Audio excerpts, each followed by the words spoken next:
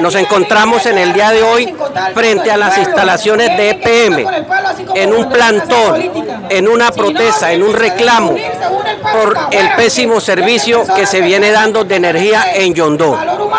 Tenemos unos puntos para tratar con EPM. ¿Qué estamos exigiendo?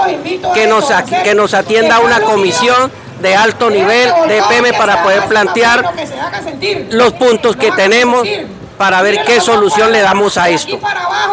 Aquí estamos con el representante de los comerciantes y con un representante del corregimiento de San Miguel del Tigre que también nos pueden expresar parte de la problemática que estamos viviendo.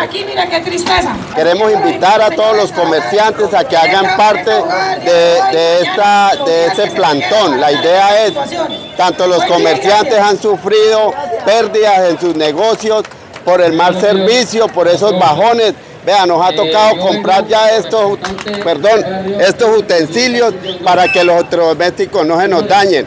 Entonces queremos darle la invitación a todos los comerciantes a que EPM venga y nos ponga la cara, ¿sí? Porque la verdad ya no podemos con esta situación. Los servicios de EPM se están elevando al 200%.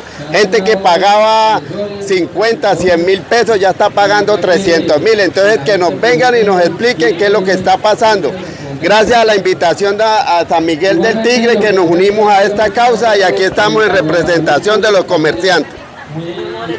Sí, buenos días, amigo Roosevelt.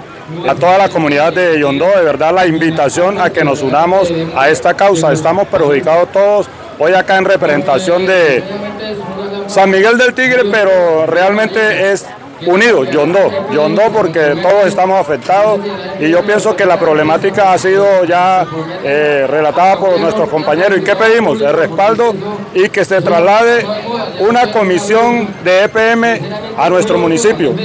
Ya tenemos el pliego de petición para llegar a unos acuerdos, pero realmente queremos sacar adelante esta problemática que la solucionemos lo más pronto posible y todos quedemos contentos. Pero el alto costo, el alto costo que nos ha venido aquejando, que ha subido hasta más del 100%. Entonces, esto es lo que estamos eh, llevando a cabo hoy, este plantón, la reclamación y pronto esperamos que nos atienda la comisión de EPM.